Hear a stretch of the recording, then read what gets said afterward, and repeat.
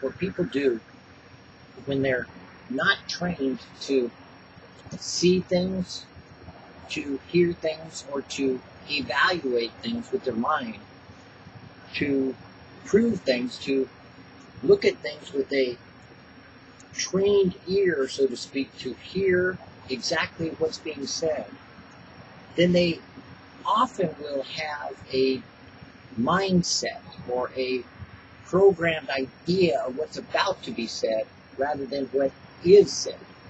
And part of what we do here in examining the scriptures from Genesis to Revelation in item specific ways is to train the mind, evaluate the heart, to help us to see what is written here so we don't go beyond what it says. Often people will do that. They will go beyond what the Bible says. They'll say things like, a penny saved is a penny earned, or cleanliness is next to godliness, or God won't give you something bigger than you can handle. None of those are scriptural. None of those are scripture. One of them is close, but it's not the scripture. But people have added a lot of meaning to those expressions to come up with ideas that they think is right here in the Bible. And it's not an interpretation problem. It's not a question of which Bible you use or how you used it or if they changed the meaning. Because you see, the Holy Spirit will speak to you from His Word as He reveals what it says the way it says it. We just so happen to use Open Bible because that was the one I started with. We use King James because I like King James. It's no big deal whether I use the Textus Receptus or some other one. The point is, we're just going to evaluate what we're reading the way we're reading it as it is written, not as it is interpreted, not as it is added to, and not as it is possibly expounded upon in ways that maybe it doesn't say that. Now, for a Bible study, you should go out and study, and you can add all the books and all the commentaries and get into the revelation and the dissertation and the explanation and get into all that you want to do. That's good. That's wonderful. Matter of fact, that's powerful for you. But one of the things you ought to be able to do is to know when something is a idea about a scripture and something is from the scripture. Because you see, that's all we want to do here is to be able to have you and have me say, this is what the scripture says, not what it might mean down the road, what it might mean when we have more added to it or what it might mean if we took it out of context, but rather just what it says it means as we read it. Because I think God speaks clearly. I think He spoke, as we were reading in Genesis, things, and it was so. And when He spoke, it happened. So I think God knows how to speak to us. I think He knows how to communicate. I think He's big enough to get through to us in a very direct, simple way. So, in reading this, that's all we're doing. We're just reading it. We're not going to add to it. We're not going to take from it. We're not going to change it in any way. We're not going to bring in some interpretation we already know we have an opinion about.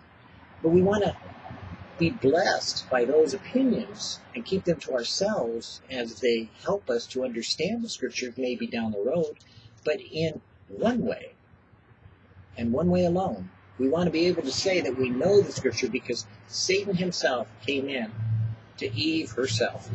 And she said, in reply to Satan, No, God hath not said. Because Satan questioned Eve if she knew what was written or if she knew what had been said, and he changed it. Hath God said? What hath God said?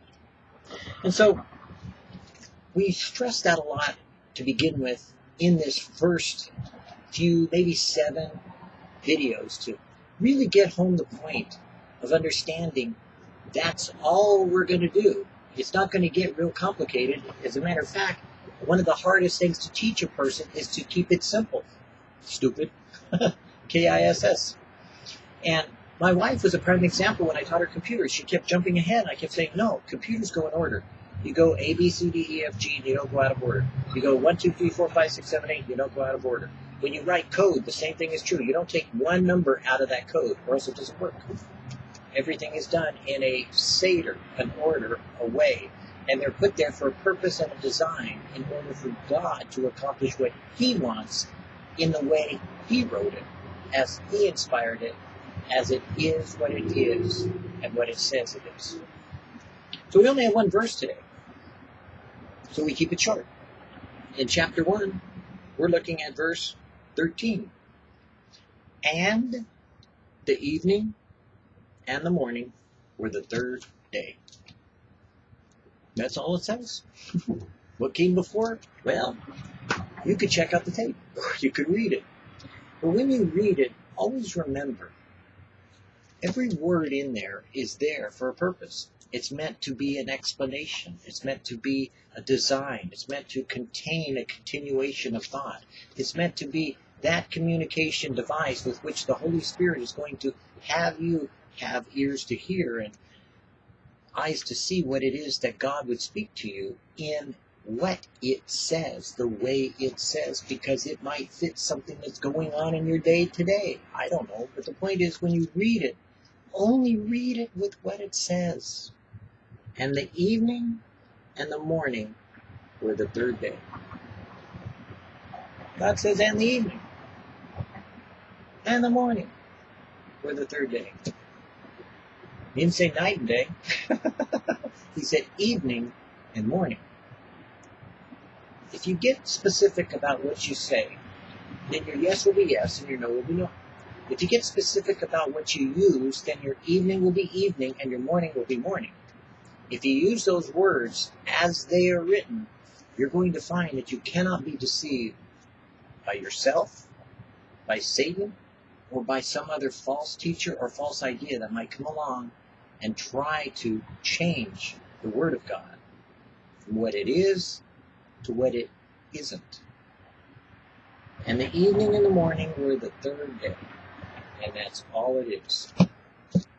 You could say, and that's all she wrote.